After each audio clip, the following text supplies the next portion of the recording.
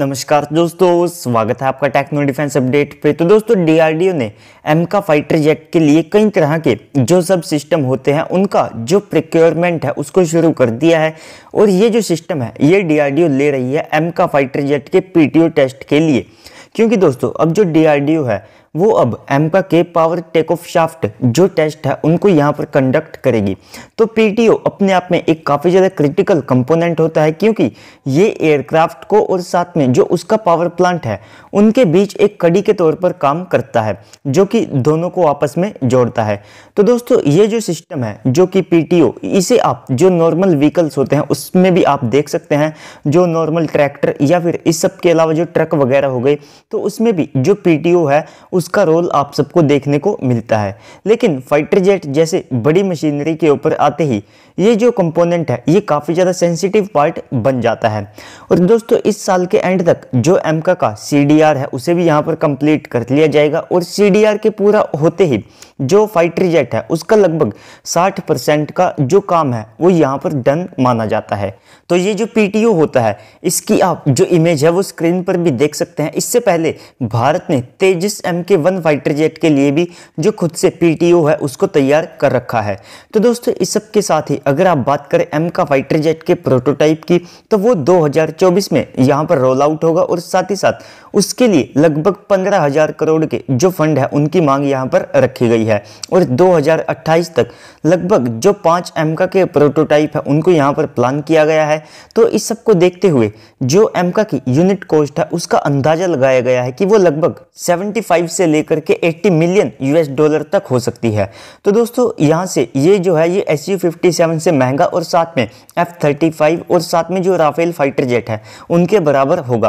तो ओवरऑल कहा जाए तो एम की जो प्रोग्राम कॉस्ट है वो पाँच बिलियन यूएस डॉलर को बड़ी आसानी से क्रॉस कर जाएगी, जो कि एक एयरक्राफ्ट कैरियर की कॉस्ट के बराबर या फिर उससे ज़्यादा होता है। और एम का हमारे लिए और ज़्यादा क्यों इंपॉर्टेंट हो जाता है, इसका सबसे बड़ा कारण है चाइना क्योंकि उनके पास अभी से ही लगभग डेढ़ सौ मौजूद है और आने वाले समय में उनकी ये जो संख्या है, ये और ज़्यादा यहाँ पर बढ़ेगी। तो ऐसे में भारत के लिए जो एम का फाइटर जेट है वो और ज़्यादा इंपॉर्टेंट हो जाता है, क्योंकि भले ही जो जे है, वो ट्रूली फिफ्थ जनरेशन का फाइटर जेट ना हो, लेकिन वो 4.5 जनरेशन फाइटर जेट से यहाँ पर आप कह सकते हैं आगे है स्पेसिफिकेशंस के हिसाब से।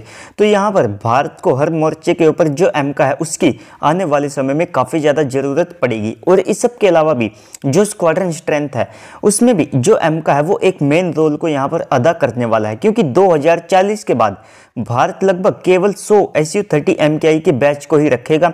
तो वहाँ पर कयास ये भी लगाए जा रहे हैं कि उनकी जगह पर जो एम का है, वो भी यहाँ पर लिए जा सकते हैं। और इसके अलावा एक और छोटी सी अपडेट है। हालाँकि दोस्तों, इसके ऊपर एक पूरा आर्टिकल छपा है। आप चाहे तो उसे जा करके रीड कर सकते हैं। मैं डिस्क्रिप्शन में उसका लिंक दे दूँगा। तो दोस्तों, यहाँ पर जो भारत का स्वदेशी इंजन है, उसको लेकर के यहाँ पर कवर किया गया है कि उसको जल्द से जल्द तैयार करने के लिए जो कार्रवाई के आदेश हैं, वे यहाँ पर दिए जा चुके हैं। इससे पहले भी जो डी है, वे काफ़ी ज़्यादा सख्त टाइमलाइन को आगे रख चुके हैं, जिसमें वे दो से लेकर के तीन साल के अंदर लगभग तीन जेट इंजन को तैयार कर लेंगे और इसी के साथ बाकी जो सात साल होंगे, उसमें वे इस प्रोजेक्ट को कंप्लीट करना चाहते हैं। यानी कि सात साल के अंदर वे इस डील को करने से लेकर के इस इंजन की जो टेस्टिंग वगैरह है, उस सबको यहाँ पर कंप्लीट करना चाहते हैं। और इन सालों में लगभग सात जो ग्राउंड टेस्ट बेड है, उनको यहाँ पर बनाया जाएगा और सात जो फ्लाइंग टेस्ट बेड है, उनको यहाँ पर बनाया जाएगा। तो टोटल सात साल के अंदर भारत चौदह जेट इंजन को यहाँ पर टेस्टिंग के लिए बनाएगा। और यहाँ पर भारत को चार से लेकर के पाँच बिलियन यूएस डॉलर खर्च करने पड़ सकते हैं। डिपेंड करता है कि हम किसके साथ इस इंजन को बनाएँगे। और इस सब के अलावा भी एक और यहाँ पर अपडेट सामने निकल करके आई थी, जिसमें जो डी और साथ में जीटीआरई है, इन्होंने जो कावेरी इंजन है, उसके आफ्टर बर्नर सेक्शन के ऊपर जो काम है, वो शुरू कर दिया है। यानी कि हम खुद से भी जो कावेरी का आफ्टर बर्नर सेक्शन है, उसको बना रहे हैं। और इसी के साथ ये जो इंजन है, ये राफेल के इंजन के बराबर यानी कि लगभग 75 से लेकर के 78 किलो न्यूटन थ्रस्ट को जनरेट करने में सक्षम होगा।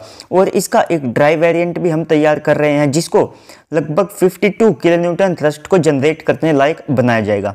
तो दोस्तों, उम्मीद करता हूँ आपको वीडियो अच्छी लगी है। अगर आपको वीडियो अच्छी लगी है तो वीडियो को लाइक करके चैनल को सब्सक्राइब कर दीजिएगा, ताकि आपको ऐसे ही वीडियोस मिलते रहे। तो चलिए दोस्तों, आज की इस वीडियो में इतना ही। मिलते हैं अगली वीडियो में। तब तक के लिए गुड बाय। जय हिंद। दोगे जमा के ये खाला मांग दो